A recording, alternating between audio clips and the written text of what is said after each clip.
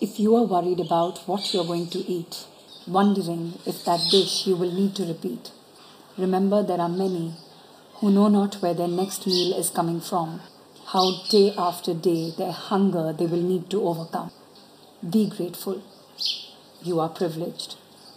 If you're hassled about being by yourself or with your family in your own house, with ample gadgets, movies, books, channels to browse, remember there are many part of the planet but have no home.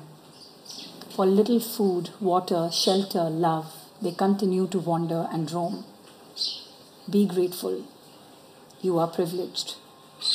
If you're stressed about how you're going to keep your children entertained, how to spend time with them, now to go out, that they are refrained. Remember, there are many whose children are far, far away, or many who do not have anyone with whom they can play. Be grateful. You are privileged.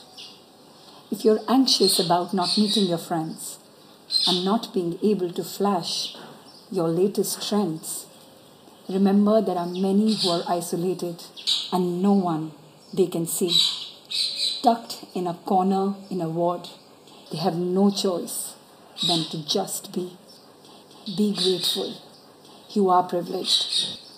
If you're nervous about the statistics, yet busy discussing the latest news, posting Insta stories, going live on Facebook, checking comments and views, remember there are many out there still at work so you can be safe and survive, putting their own lives at stake so the world can heal and thrive. Be grateful. You are privileged.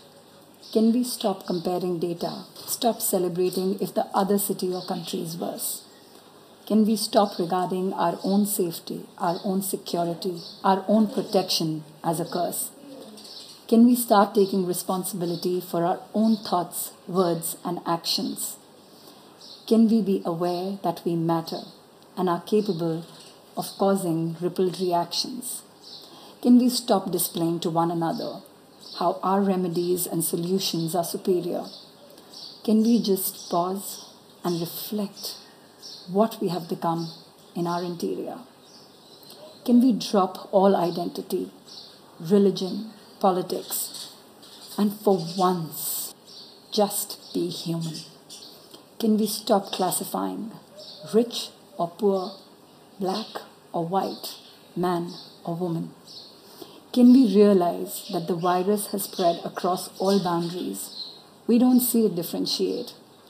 Can we end all disparity, shield our present, save our future, and history we shall create?